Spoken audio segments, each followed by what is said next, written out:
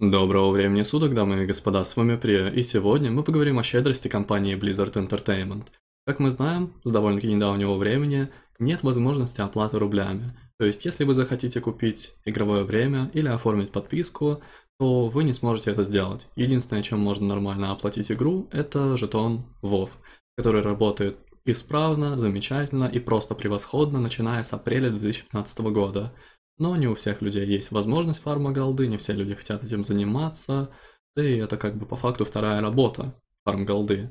Поэтому компания Blizzard решила вновь выдать игровой месяц определенным учетным записям, которые зарегистрированы на определенные страны. Быстренько пройдемся по списку этих стран. Собственно, если у вас на текущий момент имеется активная подписка и ваша учетная запись зарегистрирована на эту страну, то вы получите бесплатный игровой месяц. Страны. Казахстан, Грузия, Молдавия, Узбекистан, Киргизия, Азербайджан, Монголия, Украина, Армения, Таджикистан и Туркменистан.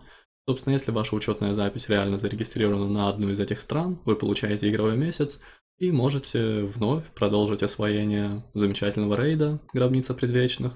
Ну а также, если вы играете на Альянсе, то можете зайти в мой дискордик, там имеется текстовый канал СГ, Святилище Господства, и в ближайшее время мы начнем походы за поводьями отмщения. Будем ходить на Сильвану, будем дропать маунта. Ну и помимо этого еще классные другие разные вещицы. Вот, информация об этом, само собой, в Дискордике есть.